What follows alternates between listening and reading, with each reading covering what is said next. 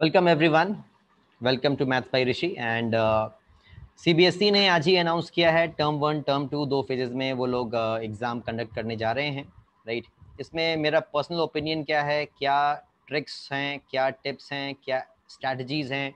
इन सब की बात मैं करूँगा apart from discussing the syllabus जो पोर्शन डिलीट किए गए हैं उन पोर्शंस को मैं आपको mark करवाऊँगा using the Bible of C B S E that is the N book ठीक है? उसको यूज़ करते हुए हम लोग उसको डिलीट करेंगे। मैं आपको एक्जैक्टली एक्सरसाइज बता दूँगा कहाँ से कौन से टॉपिक कौन से एक्सरसाइज आपको डिलीट करने हैं, जिस पे फोकस नहीं करना है, ठीक है? So this short video is mainly regarding the strategy details and the method to approach these exams क्या स्ट्रैटेजी होनी चाहिए? कैसे सिलेबस को अटेम्प्ट करोगे? ठीक है? आओ चलो, शुरू करते हैं। Let start with the details so so, अगर आपने सीबीएसई e की वेबसाइट देखी है तो ये डिटेल्स वहाँ पे आ गई राइट पीडीएफ मैंने आपके ग्रुप पे भी पोस्ट कर दिया है ठीक है? अप्लाइड मैथ्स का भी पोस्ट कर दिया था। फ़िलहाल यहाँ पे अभी हम सिर्फ़ मैथ्स का डिस्कशन करेंगे अप्लाइड मैथ्स का एक सेपरेट वीडियो में मैं डिस्कस करूँगा।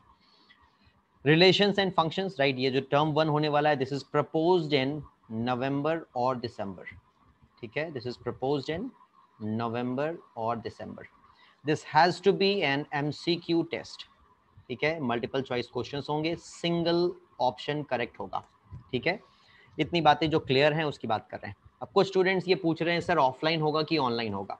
So children you can be very sure it is dependent on the situation of the pandemic that is the corona उस पर डिपेंडेंट है कि ऑफलाइन ये टेस्ट ऑफलाइन होगा कि ऑनलाइन होगा। अगर आप स्कूल जा रहे हैं तो सर्टेनली आपका ये ऑफलाइन टेस्ट होगा राइट right? आप ये मान के चलो ऑफलाइन होने के चांसेस ज़्यादा हैं। और लेकिन अगर सिचुएशन बहुत वर्स हो गई, जो कि ऐसा लग नहीं रहा है, चीज़ सुधरती जा रही तो अच्छी बात है है ना? तो ऑफलाइन के ही चांसेस है। लेकिन हाँ अगर इन केस वर्स हो जाती है तो फिर ये टेस्ट आपका ऑनलाइन होगा। Okay this would be an online test relation and function eight marks का है। इन्होंने क्या किया है ना? जो लास्ट ईयर हुआ था थर्टी परसेंट सिलेबस रिडक्शन वो इस साल भी है। मैं भी बताऊँगा किस तरीके से रिड्यूस हुआ उस सब की बात करूँगा। फ़िलहाल टर्म वन में जो स्ट्रैटेजी इन्होंने रखी है, बल्कि जो हमें स्ट्रैटेजी बनानी है, वो ये है कि बुक वन एन की बुक वन जो है, ये आपको ऑलमोस्ट पूरी पूरी करनी है। और बुक टू से सिर्फ़ एक टॉपिक है। One topic from book two which I think you can easily realise that is linear programming ठीक है? आओ मैं इनके चैप्टर्स रिलेटेड टॉपिक्स ये सारी बातें मैं यहाँ पे डिस्कस करता हूँ। Please all of you all of you should pay good attention here देखिए। इसमें कुछ ऐसा होने जा रहा है कि एन बुक e के रेफरेंस में हम सारी बातें करेंगे, ठीक है? Everything will be because जब हम बोर्ड की बात कर रहे हैं तो एन e की बात करेंगे। Then you have the chapters इसमें आपके पास chapter one chapter two N से, ठीक है? रिलेशन एंड फ़ंक्शंस में चैप्टर वन चैप्टर टू है। अलजेब्रा में आपके पास थ्री एंड फोर है मेट्रिस एंड डिटर्मिनेंट यहाँ पे रिलेशन फ़ंक्शंस एंड आई हो गया, ठीक है? कैलकुलस में फाइव एंड सिक्स यानी कि सिर्फ़ एप्लीकेशन ऑफ़ डेरिवेटिव्स तक। इंटीग्रेशन टर्म वन में नहीं आ रहा है, ठीक है? Linear programming that is chapter number twelve from the NCERT this is what is going to come in the first assessment test जो टर्म वन है आपका, ठीक है? 17 मार्क्स देखो, बिल्कुल सब कुछ वैसा ही है जस्ट डैट इन्होंने ब्रेक कर दिया सिलेबस देखा जैसे everything has got two sides यहाँ इसका भी, इसके भी दो साइड्स हैं। पॉजिटिव ये है कि अब तुम्हें किसी भी एग्ज़ाम में पूरे दो, पूरी दो किताबें या कंप्लीट सिलेबस का बर्डन नहीं है। ये पॉजिटिव है। तो बिल्कुल फोकस्ड होकर पढ़ सकते हो कि हाँ टर्म वन में सिर्फ़ इतनी चीज़ें आ रही है, इस पर कंप्लीट फोकस कर लेना है, काम हो जाएगा। ठीक है? टर्म टू में वैसी आधा सिलेबस है मतलब आधा आधे सिलेबस की बात हो गई है तो ये तो अच्छी बात है ना it's good on the other side देखें तो उन बच्चों के लिए बुरा हुआ, जो साल भर मज़े करते थे और एग्ज़ाम टाइम में पढ़ते थे, उनके लिए बहुत बुरा हुआ कि अरे यार, अब तो अभी भी पढ़ना पड़ेगा, अभी भी एग्ज़ाम है और एक एग्ज़ाम बाद में, मार्च, अप्रैल में भी है। तो हाँ ठीक है राइट ऐसे भी ट्वेल्थ का सिलेबस ऐसा नहीं होता है कि तुम ऐसे लास्ट मोमेंट पे पढ़ के और कुछ अच्छा कर लो, ठीक है? पास होना अलग बात है, लेकिन कुछ अच्छे मार्क्स तो नहीं ला सकते, ठीक है? तो यहाँ एक चीज़ तो बड़ी क्लियर हो जाती है that the board wants you to study round the year ठीक है? बोर्ड ये चाहती है कि तुम साल भर पढ़ाई करो, ढंग से करो, कायदे से करो, ठीक है?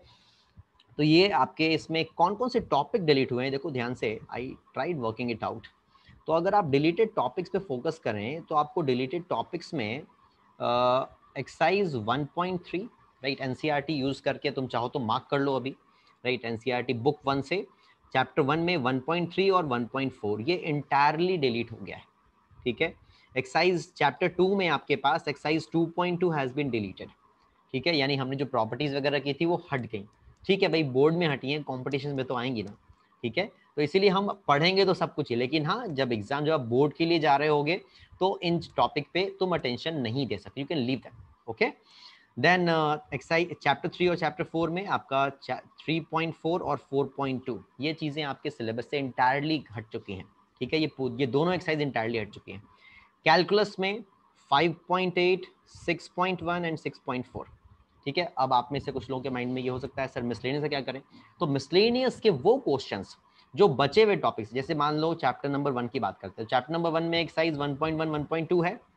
ठीक है? 1.3 1.4 ही तो हटा है तो 1.1 1.2 से रिलेटेड जो टॉपिक्स हैं, उसके जो क्वेश्चंस मिसलेनियस के हैं, वो आपके पास सिलेबस में है। 1.3 1.4 के रिलेटेड कॉन्सेप्ट के पास बाहर हो जाएँगे। ठीक है? सिमिलरली आपके पास लीनियर प्रोग्रामिंग में भी सारी चीज़ें नहीं आ रही हैं। फॉर्मुलेशन पिछले साल भी हटा था, इस साल भी हट गया। सिर्फ़ तुम्हें बेसिक ग्राफ बनाना आना चाहिए इनक्वालिटी को डील करना आना चाहिए। ठीक है? और फॉर्मुलेशन नहीं आएगा। ये मैं बताऊँगा, अभी हम लोग ये चैप्टर करें नहीं है तो जब करेंगे तो इसको मैं आपको अब डिस्कस करूँगा, ठीक है? तो लीनियर प्रोग्रामिंग में से सिर्फ़ आपके पास जो फ़र्स्ट एक्सरसाइज है, वही आपके पास सिलेबस में। इसका मिसलेनियस भी हट चुका है, ध्यान रखना। इसमें मिसलेनियस भी नहीं है। You don't have the miscellaneous from this chapter number 12 it is only twelve point one which will come into your syllabus internal assessment ध्यान रखना। वो जो तुम्हारी एक प्रोजेक्ट फ़ाइल होती है, उसको ठीक से क्रिएट करना। इंटरनल एग्ज़ाम होंगे फाइव मार्क्स असेसमेंट उससे होता है और फाइव मार्क्स तुम्हारा वाइवा प्लस प्रोजेक्ट वर्क का होता है। तो इंटरनल एग्ज़ाम्स को प्रॉपरली दीजिए, ढंग से दीजिए, टीचर के हाथ में ये दस नंबर हैं, है ना? वाइवा जो होगा उसको ढंग से अटैम्प्ट करना तो ठीक ठाक यहाँ पे भी दस नंबर आ जाने चाहिए, ठीक है? तो ये तुम्हें इस तरीके से लेके चलना है राइट ये डिटेल्स हैं। अभी इसकी स्ट्रैटेजी क्या होगी, कैसे पढ़ना है, इसकी बात मैं अभी करने वाला हूँ, ठीक है? बट पहले ये समझना ज़रूरी था, कौन से टॉपिक्स हट गए हैं। ये डिलीटेड के अलावा बाकी सब कुछ है, ध्यान रखना। Okay rest everything is there अच्छा टर्म टू में क्या है भाई? What is there in term two तो टर्म टू में भी ऐसा कोई बहुत बहुत ज़्यादा टेंशन वाली बात नहीं है। कैलकुलस पहले 35 मार्क्स की प्रपोज है। 35 में से 17 मार्क्स पीछे हैं और 18 मार्क्स आगे हैं। ठीक है, अगर हम चैप्टर्स देखना शुरू करें, ठीक है अगेन हम एन बुक की रेफरेंस यूज़ करेंगे। तो यहाँ पे आप देखेंगे chapter seven eight nine right इसमें आपका इंटीग्रल शुरू हो जाता है, ठीक है? इंटीग्रल्स होगा एप्लीकेशन ऑफ़ इंटीग्रल्स होगा और डिफरेंशियल इक्वेशन होगा, ठीक है? 18 मार्क्स का कैलकुलस आपके पास टर्म टू में है राइट ये पेपर आपका सब्जेक्टिव होगा, ध्यान रखिएगा, ठीक है? यहाँ मैं ये चीज़ें यहाँ मेंशन कर देता हूँ right term one is objective proposed objective ठीक है? And term two has been proposed as subjective तो ये तुम्हें ध्यान रखना है कि ये तुम्हें एज अ सब्जेक्टिव पेपर आने वाला है, ठीक है? वो ऑब्जेक्टिव ही रहेगा। और देखो पैंडमिक की सिचुएशन है सीबीएसई e ने इतना ऑल्टरनेटिव इसलिए क्रिएट किया है कि इस साल वाली सिचुएशन ना आ जाए, कि एग्ज़ाम ही नहीं हुआ, बच्चों को वैसे ही रिज़ल्ट बना के दिया जा रहा है है ना? Happening for the first time in the history of Indian education system right but then it has happened so it is it is a kind of you know pre work उन्होंने कर लिया, पहले से होमवर्क करके रख लिया कि हाँ चलो कम से कम अगर टर्म टू नहीं हो पाया तो टर्म वन के बेसिस पे रिज़ल्ट हो जाएगा। टर्म वन नहीं हो पाया तो टर्म टू के बेस पे हो जाएगा इंटरनल्स तो सीधी सीधी बात इतनी है कि तुम्हें साल भर हर एग्ज़ाम को प्रॉपरली लेके चलना है। कोई भी इंटरनल एग्ज़ाम भी हो रहा है तो उसको भी तुम प्रॉपरली अच्छे से स्कोर करने की कोशिश करोगे, ढंग से अटेम्प्ट करोगे। ठीक है? तो ये तुम्हारा सब्जेक्टिव एग्ज़ाम होने जा रहा है। ओके सिलेबस मोर और लेस अगर आप देखें तो किसी में भी कम नहीं है। ठीक है? अगर आप देखें टर्म वन में अगर आप सिलेबस को देखने की कोशिश करें तो टर्म वन में आपके पास कितना सिलेबस है? टर्म वन में आपके पास one two three four five six seven seven chapters हैं आपके पास टर्म वन में, ठीक है? और अगर आप टर्म टू की बात कर रहे हैं तो टर्म टू में आपके पास कितने चैप्टर्स हैं? टर्म टू में आपके पास छः चैप्टर्स हैं। सिलेबस वाइज अगर मैं देखूँ तो ऑलमोस्ट इक्वल वेटेज है सिलेबस का, ठीक है? और टोटल का थर्टी परसेंट ही रिडक्शन है जो लास्ट ईयर हुआ था। बल्कि मैं तो माइन्यूटली देख रहा था तो टॉपिक्स भी ऑलमोस्ट वही हटाए गए हैं जो लास्ट ईयर हटाए गए थे। ठीक है? देखो यहाँ मैं टॉपिक्स थोड़ा बताऊँगा बिकॉज़ यहाँ पे एक्साइजेज को अलग से क्लब करना थोड़ा मुश्किल हो रहा था। तो मैंने यहाँ कहीं पे ना टॉपिक्स भी लिखे हैं बिकॉज़ कुछ एक्साइजेज हैं जो पार्शियली आ रही हैं तो मैंने उनको यहाँ पे मेंशन किया है अलग कलर से, ठीक है? जैसे exercise seven point eight entirely चला गया तुम्हारा, ठीक है? सेवन पॉइंट एट इंटायरली चला गया। और एट से I think it is just moment I just noted it down यहाँ से मैं देख रहा हूँ, यहाँ से इरेज हो गया है। Just give me a moment मैं अभी हाथ क्या चेक करता हूँ? एट से हमारे पास एट पॉइंट टू चला गया है ठीक है?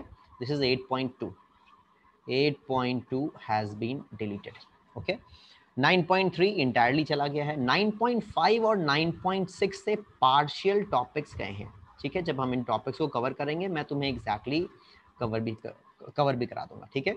मतलब ऐसा नहीं है कि 9.5 9.6 इंटायरली आप डिलीट करने जा रहे हैं इसको ध्यान रखना। ठीक है? एक बार अभी वो पीडीएफ ओपन कर लेंगे जो सीबीएसई e ने हमें दे रखा है। तो मैं एक्जैक्टली आपको बता दूँगा। ठीक है?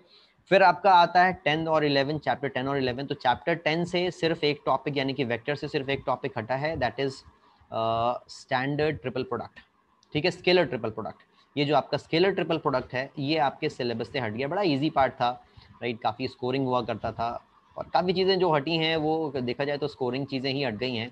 बट चलो, कोई बात नहीं, ठीक है whatever it is we have to adjust as per that तो चैप्टर नंबर टेन से स्केलर ट्रिपल प्रोडक्ट गया है. चैप्टर नंबर इलेवन से पार्शियल सिर्फ़ एक टॉपिक गया है विच इज़ एंगल्स एंगल्स के ऊपर थ्री में एंगल्स के ऊपर जितने भी क्वेश्चन होते हैं, वो आपके लास्ट ईयर भी सिलेबस से हटा था एस भी लास्ट ईयर हटा था, इस साल भी हटा ठीक है?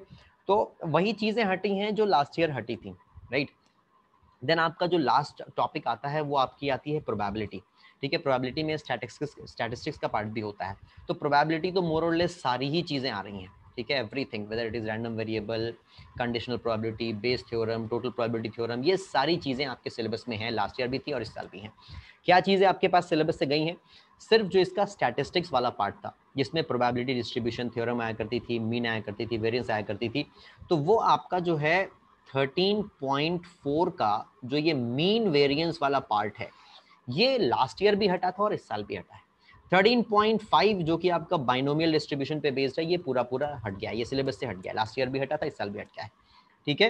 तो एग्जैक्टली exactly मैं ये चाहता हूँ कि आप अपने एनसीईआरटी बुक में इसको मार्क कर लें। जब आप बोर्ड एग्ज़ाम्स को देख रहे होंगे तो उस समय आपको ये ध्यान देना है कि कौन से चैप्टर छोड़ने हैं। ठीक है ठीक है कंपटीशन के लिए तो हम सब कुछ ही करते हैं और हम करेंगे भी राइट अभी तक हमने सब कुछ ही करा है, आगे भी हम सब कुछ करेंगे। लेकिन हाँ जब बोर्ड एग्ज़ाम के लिए जा रहे होगे नवंबर दिसंबर में जब भी इसकी डेट आती है तो उससे पंद्रह दिन पहले, एक महीने पहले हम लोग फिर उस हिसाब से पढ़ना शुरू करेंगे, ठीक है? यहाँ तक हम लोगों ने मेनली इसकी बात की कि कौन से चैप्टर्स हैं, कौन से डिलीटेड टॉपिक्स और डिलीटेड एक्सरसाइजेज हैं। Now I would like to come with the most important thing in my opinion that is about what has to be done and what has to be, you know, not to be done. कह सकते हो आप dos and don'ts dos and don'ts अब कहीं ना कहीं आपके mind में ये चल रहा है right sir what were the exercises related in exemplar same topics Arpit आप एग्जैक्टली exactly उसको वहाँ से कवर अप कर सकते देख सकते हैं मैच कर लीजिएगा एग्जाम्पलर से।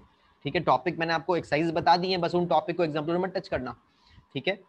डूज एंड डोंट्स अब जैसे क्या है ना, अब बहुत सारे बच्चे क्या करेंगे, अब वो एमसीक्यू पे फोकस करना शुरू कर देंगे। और एमसीक्यू पे फोकस करने में कोई नुकसान नहीं है राइट लेकिन ये ध्यान रखना कॉन्सेप्ट प्लस एमसीक्यू पे फोकस करोगे तो अच्छा रहेगा। ठीक है? एमसीक्यू जब बोर्ड की बात करेंगे तो बोर्ड लेवल के एम ही आएँगे। ठीक है, जो हम लोग आर डी शर्मा में करते हैं, या फिर आप प्रीवियस ईयर क्वेश्चंस करते हैं आईआईटी के एनडीए के तो उसके इजी क्वेश्चंस ही रहेंगे डिफ़िकल्ट नहीं आने जा रहे। राइट अगर आप सीबीएसई e का सैंपल पेपर देखें, जो लास्ट ईयर रिलीज़ हुआ था, उसमें एम भी थे।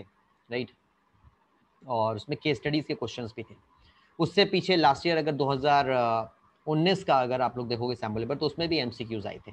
राइट, बल्कि 2019 में एमसीक्यू पहली बार आए थे सी e में, ठीक है? तो मैं ये सजेस्ट करूँगा कि उसके लेवल को देखने के लिए हम डिस्कस करेंगे क्लास में बट जो लोग इसको यूट्यूब पे बाद में देखेंगे, मैं उनको ये सजेस्ट करूँगा कि आप लोग सबसे पहले क्या करेंगे, आप सबसे पहले जो 2019 के एम आए हैं, जो सी बी सैंपल अगर आप बोर्ड की बात कर रहे हैं तो ठीक है? तो जो सी बी सैंपल पेपर्स में जो आए हैं पेपर्स और जो 2020 में जो पेपर हुआ था राइट आप वो बिकॉज़ 2021 में तो पेपर ही नहीं हुआ। 2020 में जो पेपर हुआ था 2020 में, आप उसको एनालाइज करेंगे, उसी हिसाब से एमसीक्यू वही लेवल रहेगा, ठीक है? So it is not very difficult but yes it is not very easy as well and the way M C Q is approach is slightly different that we generally discuss that in the classes ठीक है? तो आपकी एक approach अच्छी होनी चाहिए concepts को लेकर के, और एम सी क्यू जब करते हैं तो वहाँ पे अपनी स्पीड डेवलप करनी होती है।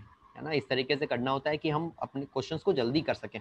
कई बार ऐसा भी होता है कि हम लोग बिना सॉल्व किए सही ऑप्शन पहचान लेते हैं। तो वो सारी चीज़ें छोटी छोटी चीज़ें, जो एमसीक्यू में एक एटीट्यूड होना चाहिए क्वेश्चन के लिए, वो एटीट्यूड आपका हो, यहाँ पे आप प्रैक्टिस करेंगे right that you should develop it अब बात आती है एम कहाँ से करें?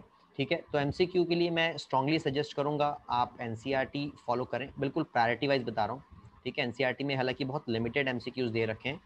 आप एग्जाम्पलर फॉलो करें। एग्जाम्पलर में बहुत अच्छे एमसीक्यूज दे रखे हैं एनसीईआरटी एग्जाम्पलर राइट और इसके बाद अगर आप कुछ और फोकस करना चाह रहे हैं तो आप आर डी शर्मा के एम कर सकते हैं। हालाँकि आर डी शर्मा के एम में ज़्यादातर क्वेश्चन प्रीवियस ईयर के क्वेश्चन हैं, जो कि एनडीए और आईआईटी मेन में आए हुए हैं, ठीक है?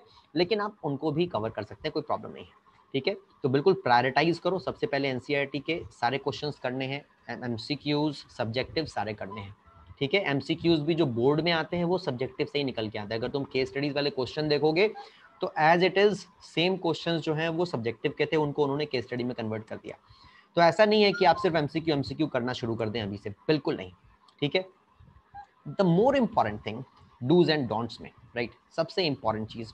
अब सिलेबस का क्या करें right how to strategize the syllabus timeline what should be the strategy for syllabus timeline बेटा नवंबर, दिसंबर में आपके पास टर्म वन है राइट ये आपके पास टर्म वन का प्रपोज्ड मंथ है जब आपका टर्म वन होगा। और मार्च, अप्रैल में, मार्च ऑब्लिक अप्रैल में, ठीक है? यहाँ क्या होना है बच्चों? टर्म टू होना है, ठीक है? यहाँ आपका सेकेंड टर्मिनल एग्ज़ाम होगा राइट ये टर्म वन है and this your term two syllabus almost 50 percent यहाँ पे है और ऑलमोस्ट 50 परसेंट यहाँ पे है। चैप्टर वाइज देखा जाए तो यहाँ सात चैप्टर्स हैं, यहाँ छः चैप्टर है, लेकिन तुम अगर सिलेबस का कंटेंट देखोगे तो ऑलमोस्ट 50 50 उन्होंने डिवाइड किया है। अब क्या ये पॉसिबल है कि यहाँ दिसंबर में तुम फ्री होकर के और यहाँ दो ढाई महीने में तुम 50 परसेंट सिलेबस कर लो? I don't think it's not a good choice right बिल्कुल भी सही चॉइस नहीं है। तो स्ट्रैटेजी बिल्कुल क्लियर रखनी पड़ेगी। हमें सिलेबस को कुछ इस तरीके से करना है कि हम टाइम से दोनों सिलेबस कर सकें। हाँ एग्ज़ाम से पंद्रह दिन पहले हमारे पास सफिशिएंट टाइम होना चाहिए कि हम फिर उस सिलेबस को एक बार अच्छे से रिवाइज भी कर लें। ठीक है? तो हम कोशिश करेंगे। अब देखो एग्ज़ाम डेट जब भी आएगी, मेरे ख्याल से कम से कम बीस दिन से चालीस दिन का तुम्हें टाइम पीरियड तो देंगे। डेट शीट में और एग्ज़ाम में कल, कम से कम ट्वेंटी टू फोर्टी डेज़ का गैप मेरे हिसाब से ज़रूर से होगा। ठीक है? तो आप इस बात को समझें कि अक्टूबर एंड तक या मिड ऑफ़ अक्टूबर तक हमारे पास डेट शीट आ जानी चाहिए। अब अगर हमारे पास डेट शीट आ जाती है तो उसी हिसाब से हम स्ट्रेटजाइज कर लेंगे। अभी हम सिलेबस का पेज जैसे चल रहे हैं, वैसे चलते रहेंगे। We are not going to focus only on term one कि हाँ सर अभी हम सिर्फ़ टर्म वन कर लेते हैं टर्म टू छोड़ देते हैं। अरे यार, चक्कर में पड़ जाओगे। अगर हमने टर्म टू अभी छोड़ दिया तो हम फिर प्रॉब्लम आ जाएगी। फिर बाद में दो ढाई महीने में ऐसे नहीं और वैसे भी तुम्हारा फोकस सिर्फ़ बोर्ड नहीं है, तुम्हारा फोकस कॉम्पिटिशन भी है। ठीक है कॉम्पिटिशन में तो सब कुछ ही आना है। We are going to touch everything जो डिलीट हुआ, वो भी हम करेंगे ना। हाँ ठीक है, आप एग्ज़ाम से पहले उसको रिवाइज मत कीजिएगा। लेकिन बाकी एग्ज़ाम्स में तो सब जगह पे सब कुछ आना है। चाहे एनडीए है या फिर आई आई जेई है या कोई सा भी कॉम्पिटिशन दे रहे हो तो वहाँ तो सब कुछ ही आना है ना। They they they don't delete anything okay ऐसा नहीं है, जो जो चीज़ बोर्ड में डिलीट हो रही है, वो कॉम्पिटिशन में नहीं आएगी। इट विल कम ठीक है? तो इसीलिए हम अपना सिलेबस जो है, वो कांस्टेंट पेज से रखते रहेंगे। ठीक है? अच्छा जो लोग अभी यूट्यूब पे बाद में इसको वॉच करेंगे, ठीक है? In case they need any further details on this they should contact uh, on this whatsapp number 9319 triple six one six two okay make sure you just drop a message right in case you need any further details regarding uh, term one term two or anything else apart uh, regarding mathematics preparation you can drop a whatsapp message on this number ठीक है तो dos and don'ts में आप ये ध्यान रखेंगे कि कौन सी चीज़ हमें करनी है और कौन सी चीज़ नहीं करनी है ठीक है uh, Uh, if you have any other question you can ask me right? I'm, I'm, I'm up for your queries